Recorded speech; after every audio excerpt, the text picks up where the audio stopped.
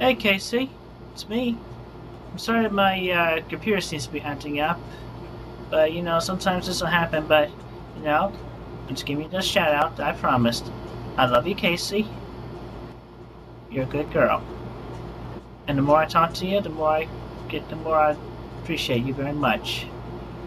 And there are so many things yet you have to learn. You have to learn about me, but it will be learned in the near future when you come. By the way, my parents will be here when you come by later. So they'll be very happy. They'll be very happy to uh, meet you. You know, at least my father will. He's a nice. He's a nicer parent nowadays. Even though back in the old days he used to be such a stick in the mud.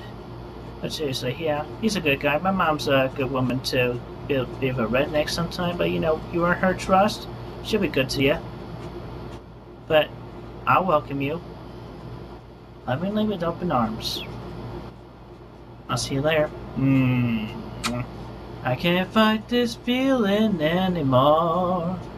I've forgotten what I started fighting for. There's something drifting up to the shore. I'll see you later.